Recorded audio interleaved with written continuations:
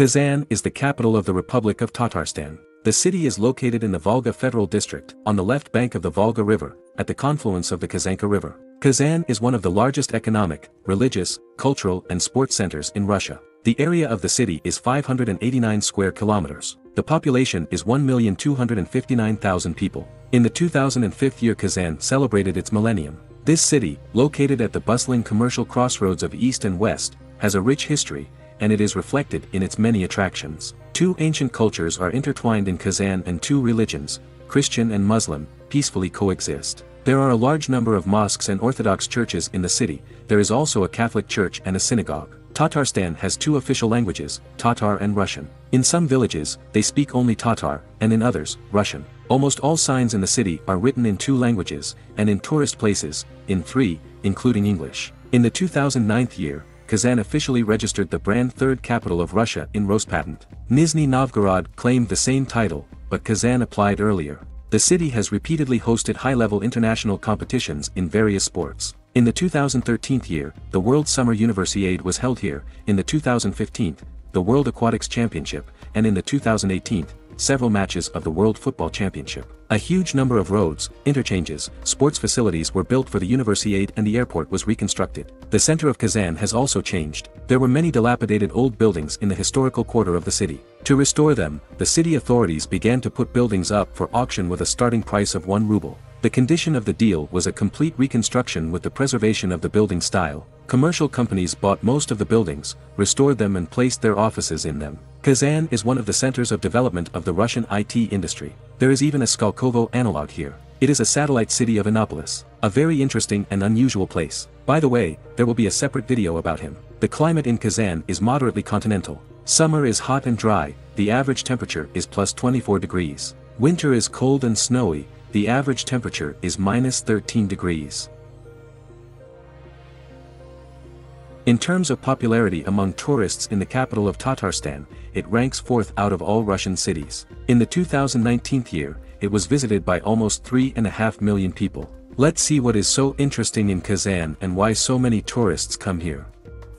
The main value of Kazan and, of course, the number one attraction is the Kazan Kremlin, located in the heart of the city. The towers and walls of the Kremlin saw the Bulgarian princes, the soldiers of Genghis Khan and Ivan the Terrible himself. The exact date of construction of the Kazan Kremlin is unknown, but researchers believe that the complex appeared between the 10th and 12th centuries. The Kazan Kremlin is included in the list of UNESCO World Heritage Sites. Entrance to the Kremlin is free.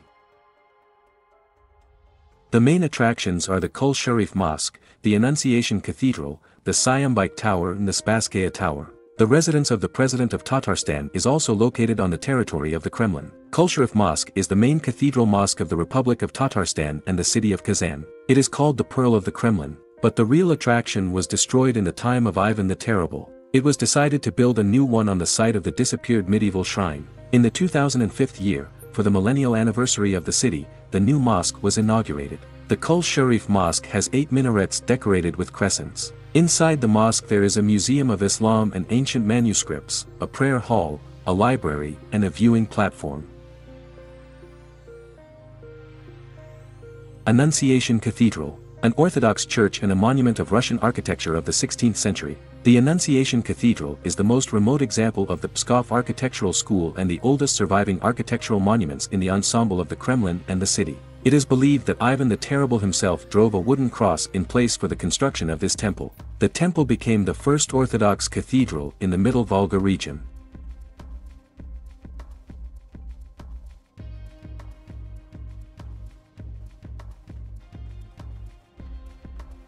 The Sayambayk Tower Travel Watchtower. It was built in the 17th century, but the calculations turned out to be incorrect and immediately after construction, the structure gradually began to tilt. The deviation of its spire from the vertical is almost 2 meters. The total height of the tower is 58 meters.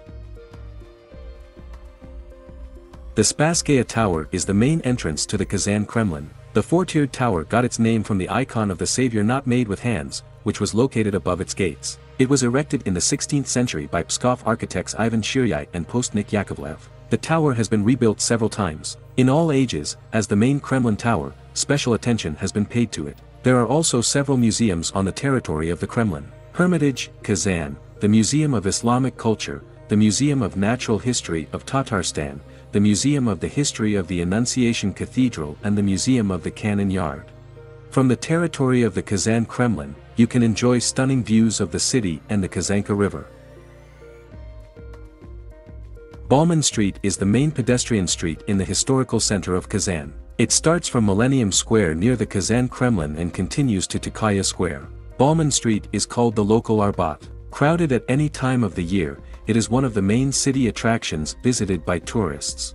Bauman Street is one of the oldest streets in Kazan. In the era of the Kazan Khanate, it was called the Nogai Road. It was beautifully landscaped and decorated in the early 90s, and it became the first pedestrian zone in the city in 1996. Bauman Street is a shopping and entertainment district. There are many shops, cafes, restaurants, as well as monuments and fountains, including a monument to the famous Kazan cat. What is the cat famous for? One day, the Russian Empress Elizabeth Petrovna found out that there were no mice in Kazan. At that time in Kazan there was a special breed of fighting cats, mousers. These cats were strong, active animals with a large head, a muscular neck and a short tail. By order of the Empress, 30 Kazan cats were transported to St. Petersburg to catch mice bred in the unfinished Winter Palace. Determined for the sovereign's service and special allowance, the cats did their job and freed the Winter Palace from rodents, thereby glorifying their breed throughout Russia. The most noticeable impressive object on Bauman Street is the bell tower of the Epiphany Cathedral.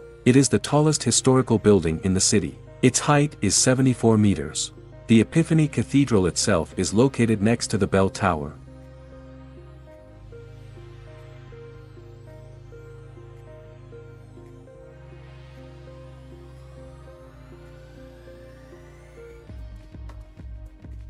Also on Bauman Street is St. Nicholas Cathedral. In general, there are an incredible number of temples and mosques in Kazan, especially in the central part of the city. Literally on every street you will find either a temple or a mosque. I have not seen such a concentration of religious sites in any other city in Russia. And it is precisely this neighborhood of two religions that Kazan stands out vividly against the background of other cities.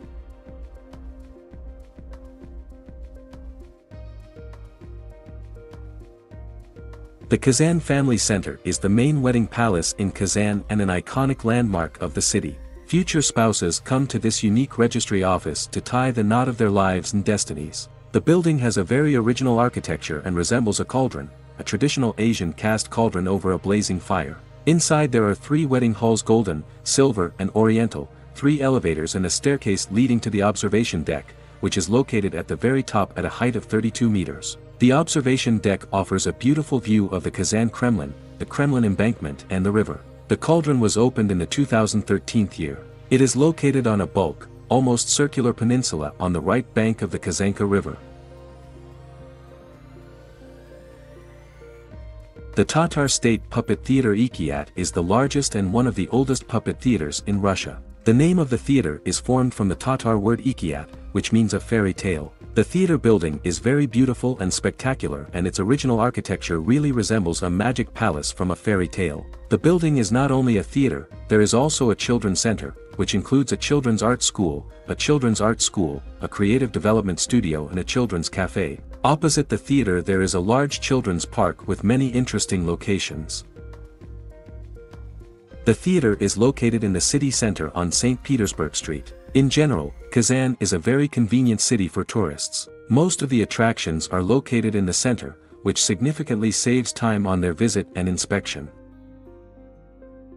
Kaban Lake Embankment a very interesting and modern solution. In the 2015 year, the Kazan City Hall announced an international competition for the best concept of radical reconstruction and development of the embankment. The winner was the Russian-Chinese consortium with the Elastic Band project. The circular elastic band was supposed to create a continuous landscape around the water and unite the green area. A related uncultured tape combined the Kamala Theater, the historical building of the old Tatar settlement, the Kazan Zoo Botanic Garden, the Mushroom Sports Center and other facilities of the embankment into a single walking and walking route.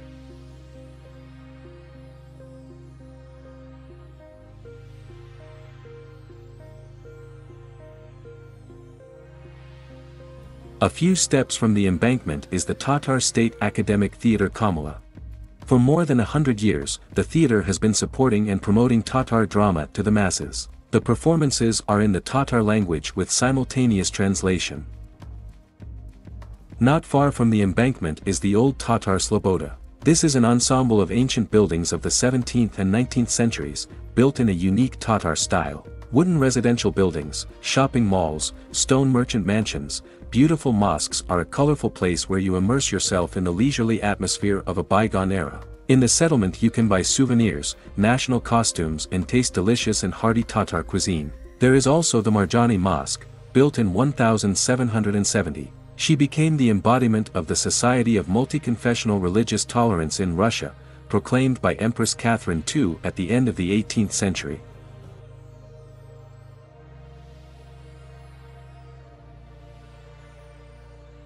The Kremlin embankment is something incredible and amazing.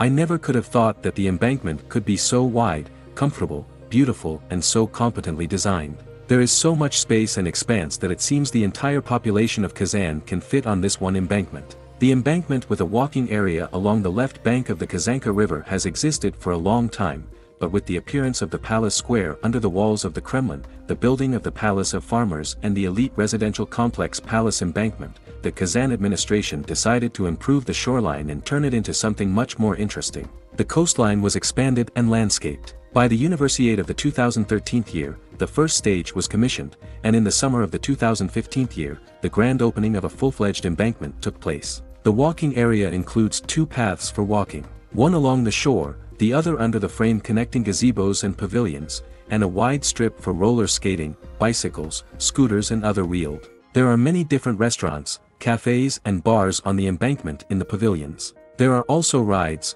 fountains, gazebos, benches or tents for the most tired. At the beginning of the embankment there is a sports ground and a pier, pier.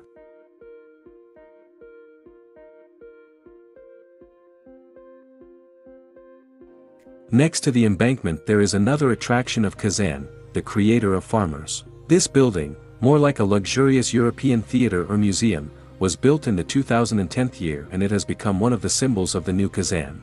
The Palace of Farmers is so named because the Ministry of Agriculture and Food of the Republic of Tatarstan and its subordinate services are located inside it. The palace looks especially impressive in the dark, when the backlight is turned on. The central element of the building is a tree 20 meters high. It is made of bronze. Its green illumination symbolizes foliage.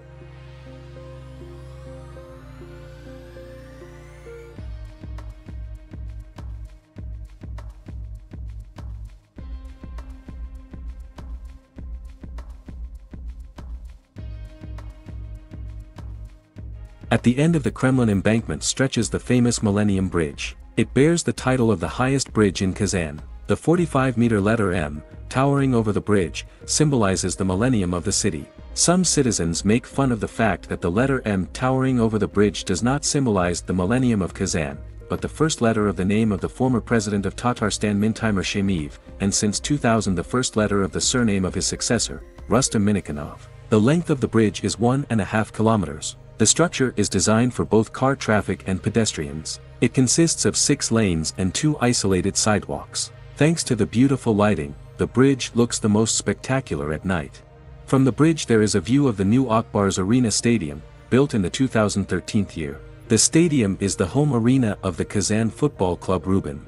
He was awarded the highest fourth category of UEFA. The architectural concept of the structure in the shape of a water lily was developed by an American company, whose track record includes the world-famous stadiums at Wembley and Emirates in London. Being in Kazan, you definitely need to try echpachmak and chakchak. These two dishes are built into a real cult here.